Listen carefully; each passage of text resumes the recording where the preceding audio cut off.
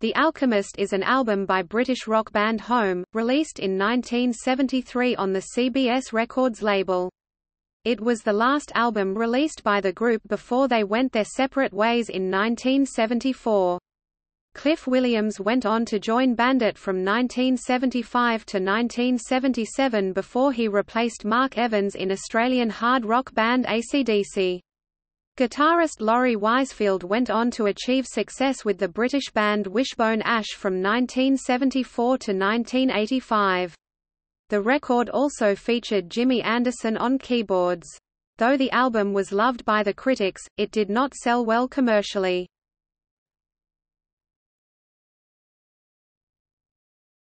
Topic: Track listing. The story was written by Mickey Stubbs and David Skillen.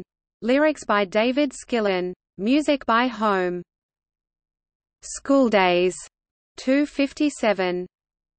The Old Man Dying 347. Time Passes By 205. The Old Man Calling Save the People 315. The Disaster 236. The Sun's Revenge, 4 o'clock. A Secret to Keep, 118. The Brass Band Played, 125. Rejoicing, 249. The Disaster Returns Devastation, 803. The Death of the Alchemist, 435. The Alchemist, 348.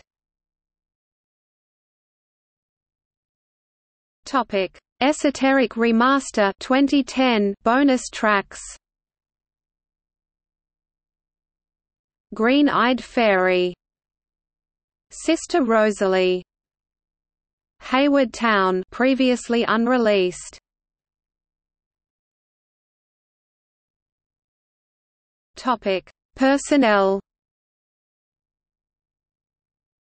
Mick Stubbs, lead vocals, guitars, piano Laurie Wisefield, lead, acoustic and steel guitars, vocals. Jimmy Anderson, keyboards, synthesizer, vocals. Cliff Williams, bass guitar, vocals. Mick Cookie Cook, drums, various percussion. Engineers, John Anthony, Pat Moran, Mike Stone and Ted Sharp